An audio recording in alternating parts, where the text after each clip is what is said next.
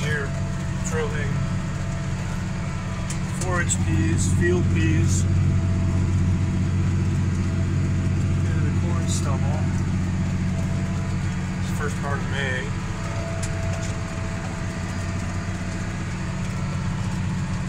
These peas will last till midsummer, then we'll take them off, and then we're going to drill kerns in here. It's 24 acres. This uh, loop monitor, Elite monitor, is new to me. Looks pretty slick. There's some calibration, there's some settings on it I've got to work on, but this is the first bit I've used. I've used it for 18 acres now. So I'm using a uh, Ag Leader auto steer for guidance. Unfortunately, the module for the to monitor the drill is more expensive than this separate system. And this is portable somewhat that I can put it in the combine. Um, still got that bit of the field left to go. It's a little bouncy. Coming to the end of the row.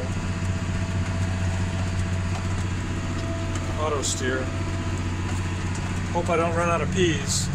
It says I'm putting on at 342, 1,000 acre. I want to be at 352. We'll see what I got left at the end.